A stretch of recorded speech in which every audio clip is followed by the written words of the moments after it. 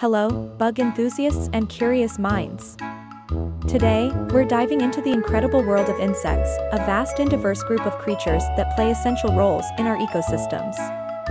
Meet the praying mantis, a stealthy predator with lightning-fast reflexes.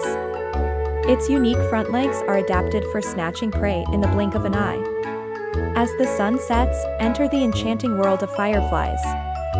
These bioluminescent insects use their mesmerizing light displays to communicate and attract mates in the darkness. Now, let's talk about the hardworking honeybee.